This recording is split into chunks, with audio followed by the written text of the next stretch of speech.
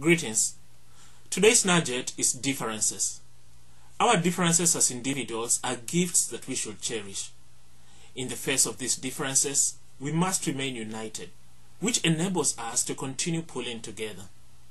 When differences threaten to result in conflict, we must remind ourselves of the common interests that unite us and the bond of love that so beautifully threads our unity.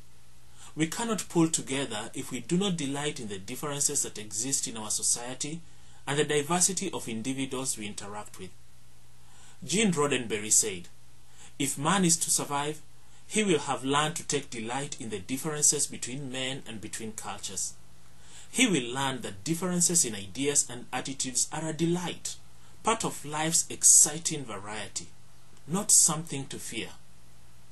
Embracing differences is virtuous.